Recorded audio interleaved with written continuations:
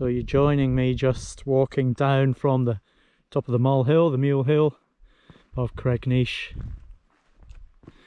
through the gorse, the beautiful, beautiful yellow gorse. Fantastic smell this evening. Just dropping down from the top of the hill.